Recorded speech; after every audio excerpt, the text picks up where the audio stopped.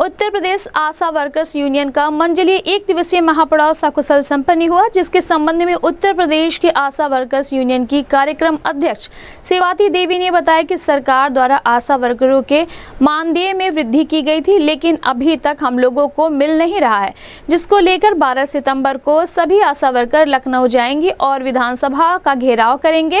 अपनी मांगों को लेकर सड़क पर उतरेंगे। उन्होंने बताया कि एक काम का पैसा देकर हम लोगों से चार काम करवाया जाता है और हम लोगों के मानदेय को भी अधिकारी बंदर बांट कर दे रहे हैं जिसकी शिकायत कई बार की गई लेकिन किसी भी अधिकारी ने ध्यान नहीं दिया। इसलिए हमारी मांग है कि हम लोगों का एक निश्चित मानदेय बीस हज़ार रुपये महीना तय किया जाए और हम लोगों को राज्य कर्मचारी का दर्जा दिया जाए।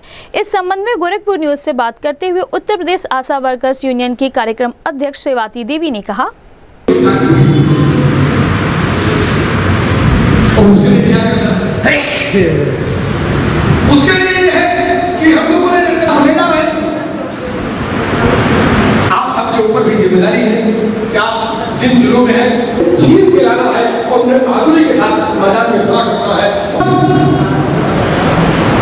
कि ये जानना बहुत ज़रूरी सड़सठ सौ रुपये आशा का हर बात पेंशन कितना? साढ़े सड़सठ सौ मैं कहा ना, पाँच हज़ार दो सौ पचास रुपया हम दे रहे हैं और पंद्रह सौ रुपये ये जोड़ा जाए।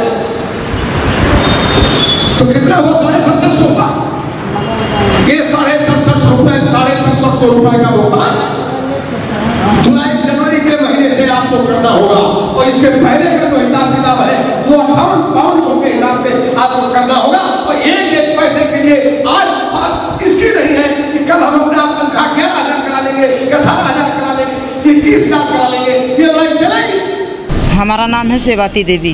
तैयारी ये चल रही है हम लोगों की जो मुख्यमंत्री जी हम लोगों को बढ़ाए हैं पैसा संगनी का और आशा का, वो पैसा हम लोगों को अभी तक मिला नहीं। और हम उसी मांग को लेकर अब हम लोग लखनऊ जाने वाले हैं अगले महीने में बारह तारीख को। अब हम लोग विधानसभा को घेराव करेंगे।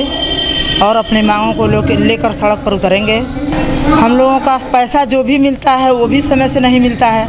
उसमें भी ब्लॉक के जो बीपीएम है बीसीपीएम है एमआईसी हैं वो लोग बंदर बांट करके ले रहे हैं। समय से मा- मानदेय ने भी नहीं जो भी हम लोगों को प्रोत्साहन राशि है समय से नहीं दे रहे हैं। इसके कई कई हम लोगों का उद्देश्य है जो इसको लेकर हम लोग लखनऊ में जाएँगे। शिकायत आप लोगों ने की जो पैसा बता रही है नहीं मिलता है? बार शिकायत हम लोग कर चुके हैं। लोग कहते हैं बजट नहीं है। दो हज़ार भेजते हैं महीने में कहते हैं बजट नहीं है आएगा तो जाएगा? हम लोगों की मांगे ये हैं कि कम से कम हम लोगों को नियमित मानदेय बीस हज़ार महीना बीस हज़ार महीना किया जाए और हम लोगों को राज कर्मचारी का दर्जा दिया जाए। हम लोगों को परिवार के लिए मान लीजिए हम लोगों को कुछ हो जाता है कोई घटना घट जाती है हम लोगों के साथ तो हम लोगों के परिवार को का सहायता किया जाए। कुछ दिया जाए लोगों की सहायता के नाम पे। हम लोग रात दिन काम कर रहे हैं। हम लोगों के काम से जो बच्चों का मृत्यु दर कम हुआ है। अस्पतालों में सरकारी अस्पतालों में एक भी मरीज़ नहीं जाते थे। हम लोगों के वजह से इतने मरीज़ जा रहे हैं कि अस्पताल के लोग भी घबरा जाते हैं। सदर अस्पताल हुआ, मेडिकल हुआ। जो लोग नाम सुन के डरते थे, अब इतने लोग जा रहे हैं कि अस्पताल वाले खुद घबरा जाते हैं कि आशाएँ लेकर आ गई मरीजों को।